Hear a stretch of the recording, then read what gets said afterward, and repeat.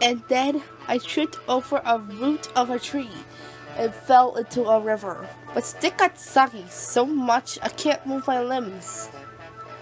Pay attention to my next time. Thanks for advice, Snowdy. You're always telling me and the flower guy. I'll always be there. Hey, you two. What's going on? Yeah, what's up?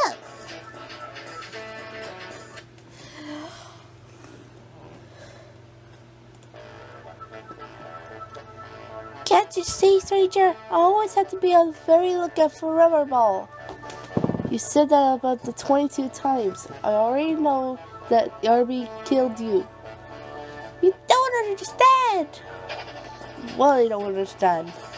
Ah!